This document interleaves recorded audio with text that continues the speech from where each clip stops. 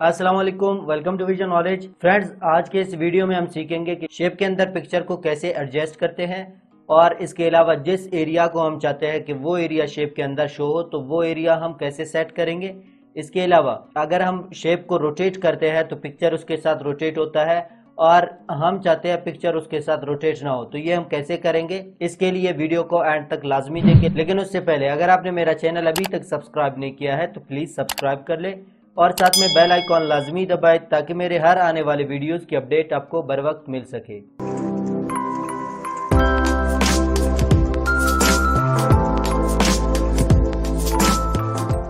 तो यहाँ पे मैंने वर्ड ओपन किया। वर्ड के अंदर अब मुझे एक शेप इंसर्ट करना है तो सिंपल जाऊँगा इंसर्ट टैब पे और यहाँ से मुझे एक शेप इंसर्ट करना है। जैसे फॉर एग्जांपल यहाँ पे ये शेप मैंने यहाँ पे इंसर्ट कर लिया। इंसर्ट करने के बाद अब इसके अंदर मुझे एक पिक्चर रखना है।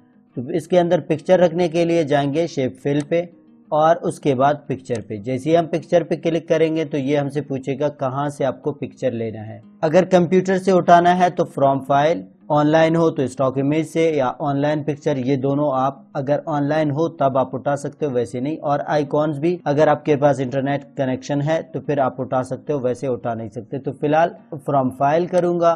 फ्रॉम फ़ाइल करने के बाद यहाँ से मुझे एक पिक्चर सिलेक्ट करना है।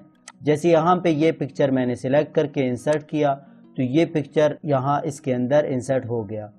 इंसर्ट होने के बाद अब इस पिक्चर को मुझे एडजस्ट करना है।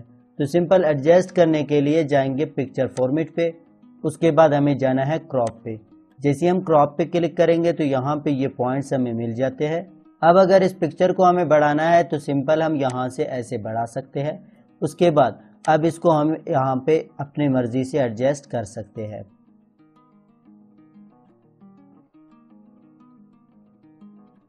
एडजस्ट करने के बाद अब बाहर क्लिक करना है। अब ये इस शेप के साथ फिक्स हो गया। फॉर एग्ज़ाम्पल जैसे ही मैं इसको रोटेट करूँगा तो ये इसके साथ रोटेट हो जाएगा।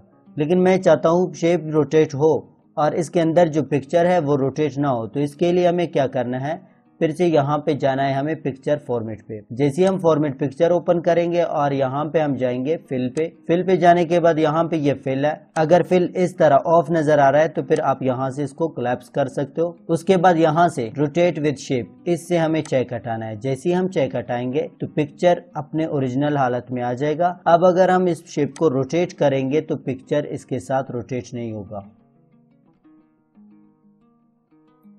ये थी आज की वीडियो। उम्मीद है वीडियो अच्छी लगी होगी, और अगर अच्छी लगी है तो लाइक करें कमेंट करें, और अपने दोस्तों के साथ शेयर करें। Thank you